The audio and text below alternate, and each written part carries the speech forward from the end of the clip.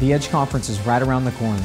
Man, we've been praying and believing God for a spirit of revival to be released at this year's conference that would change our generation.